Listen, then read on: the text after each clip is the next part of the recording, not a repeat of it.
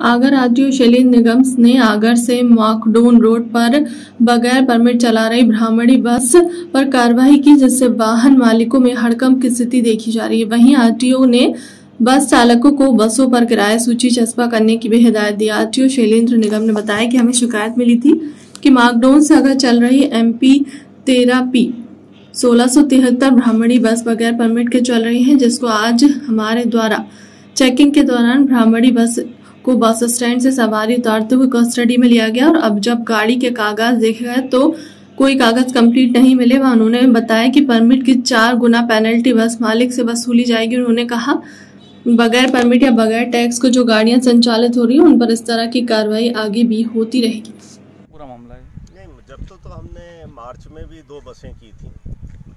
दो बसों पे कार्रवाई की थी जिसकी जानकारी हमें मिली थी कि इन पे टैक्स नहीं है बिना कागज़ और आज भी हमने कार्रवाई की है। इस गाड़ी पे आ, हमें जानकारी मिली थी कोई परमिट परमिट फिटनेस कागज़ कोई भी ये गाड़ी पे नहीं है। वर्तमान में चेक करने पे कोई कागज़ नहीं पाए गए। ड्राइवर अर्जुन सिंह से भी पूछा तो ये मार्कडाउन से होते हुए तनोड़िया होते हुए आगर में सवारी उतार रहे थे। उस समय मैंने इनको पकड़ा है। और इन पूछने पे कोई कागजात दर्शित नहीं हो रहे हैं।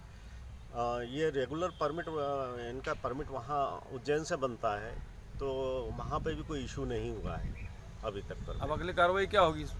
अगली कार्रवाई ये अगर पेपर लेके आते हैं नोटिस जारी होंगे या पेपर लेके अगर ये प्रस्तुत होते हैं कोई डॉक्यूमेंट्स तो उस आधार पे जो जो डॉक्यूमेंट्स रहेंगे तो फाइन उसमें उतना माइनस हो जाएगा। अन्यथा जो आ, फाइन है जो पेनल्टी है परमिट के बिना चार गुना शास्त्री वो वसूली योग्य होगी आखिर परमिट गाड़ी पाई गई कितना जुर्माना होगा इसमें? इसमें जो टैक्सेबल रहेगा वो चार गुना शास्ती रहती है।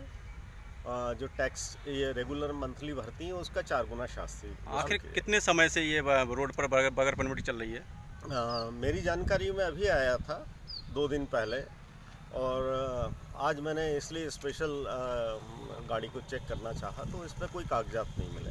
आगे कितनी गाड़ी कहाँ पे खड़ी की है आपने पकड़ के? ये थाना में आगर थाने में लाकर जब्त की है मेरे द्वारा। आगे ऐसी कार्रवाई कब तक चलेगी? ये अभी थोड़ी रेगुलर कार्रवाई की जाएगी। ऐसी गाड़ियाँ जो बिना परमिट या जो बिना टैक्स के संचालित हो रही हैं उन पर कार्रवाई आगे भी करेंगे हम। और अभी भी ये कार्रवाई की स्टार्टिंग है इसमें हम और कार्रवाई करने जा रहे हैं।